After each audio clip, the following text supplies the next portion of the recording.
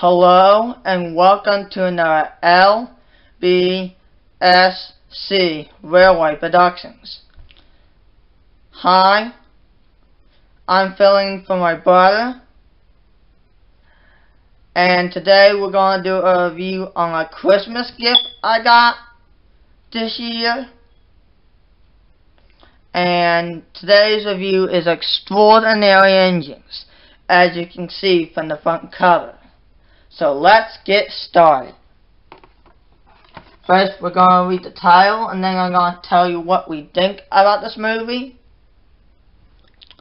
Excitement spreads across Sodor with the arrival of a new and unusual engine.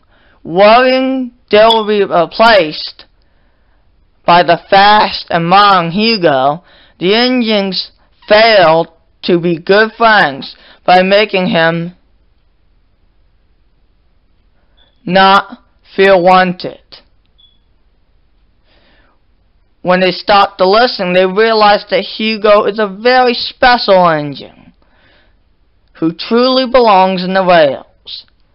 Elsewhere, things get spooky when the engines encounter a ghost train and Percy goes on a troll hunt. Skiff takes the Topham Hatt on a wild ride in search for a mermaid. Hugo dreams of taking to the skies. And Julie and Jerome learn what it takes to be really useful again. Discover the wonders of dreaming big. And join Thomas and friends in these unique adventures.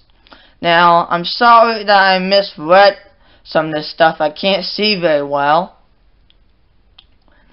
Um, I rate this movie five stars. It was overall a good movie. Except for, for the stupid Sir Topham Hatt survival joke. And I don't know why, but in the Brenner era or the Mattel era DVDs, they put the trademark right next to the Tossing Things logo at the end. I don't get that and I've been a little bit sick, but I think I'm getting better. I like Skiff, and Hugo is just a fantastic characters. I mean character. Excuse me for my misuse of language.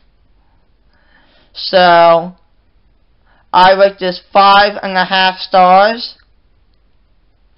Uh, oops, I said something wrong again. I meant four and a half stars. Because of the fact that the top Topham Hatt has a stupid survival joke. And I don't know why the song Spring is Here is in this DVD.